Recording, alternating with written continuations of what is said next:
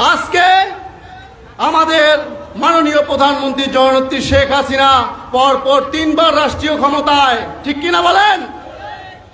বাংলাদেশের ইতিহাসে সবচেয়ে বেশি উন্নতি এই বিগত পনেরো বছরে হয়েছে, ঠিক কিনা বলেন?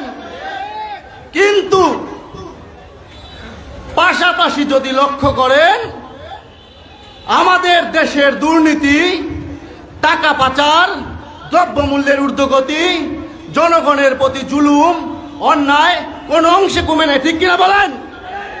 তার মানে জাতির জনক বঙ্গবন্ধু শেখ মুজিবুর রহমান জনগণের প্রতি যে ভালোবাসার ওয়াদা করেছিল, যে ওয়াদা দুর্নীতিবাজরা পূরণ করতে দেয় নাই, যখন তিনি একটা নির্দিষ্ট ব্যবস্থাপনাকে কায়েম করতে চেয়েছিল, তখন এই দুর্নীতিবাজরা সুকৌশলে পনেরোই আগস্ট তাদের সপরিবারে হত্যা করে।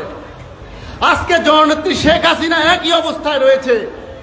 আজকে বাংলাদেশের রঞ্জে রঞ্জে দুর্নীতি, এটা মাননীয় প্রধানমন্ত্রীও জানে, আমার উপস্থিত সাংবাদিক ভাইয়েরাও জানে, এবং আমার এই দেশের মানুষেরাও জানে। জানেন কি জানেন না বলেন? আমার কথা হচ্ছে, যে কাজ জাতির জনক বঙ্গবন্ধু করতে গিয়ে সপরিবারে হত্যা হয়েছে, যে সংস্কার যে দুর্নীতির বিরুদ্ধে যুদ্ধ করতে শেখ হাসিনাও অপারক আমি আপনাদের সামনে বলতে চাই, আমরা আরেকটা দুর্নীতির বিরুদ্ধে যুদ্ধ ঘোষণা করতে চাই। আপনারা যদি সাথে থাকেন, বাংলাদেশের জনগণ যদি সাথে থাকে, তাহলে আমি প্রতিশ্রুতি দিতে চাই, এই পীর আউলিয়ার দরগার কদমের নিগাহে বলতে চাই, বাংলাদেশে একটি দুর্নীতিমুক্ত স্বাধীন, সার্বভৌম, শান্তিময় রাষ্ট্র গঠন তাই আজকের এই ফটিকছুরির ময়দানের মাধ্যমে আমি সমগ্র বাংলাদেশের মানুষকে আহ্বান করতে চাই।